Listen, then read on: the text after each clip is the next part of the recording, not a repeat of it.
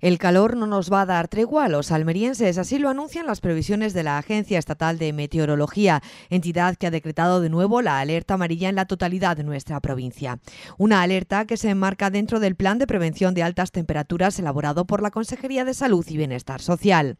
Así, se espera que Almería supere sus temperaturas umbrales tanto en las máximas como en las mínimas, siendo estas de 35 y 24 grados respectivamente. Recordar que la activación del nivel amarillo supone que mientras que la alerta se procederá al aumento de la información y la emisión de los consejos sanitarios que se dan a la población de riesgo y a sus cuidadores, sin olvidar que se mantendrán las medidas de control y seguimiento de dichas personas a través del servicio Salud Responde.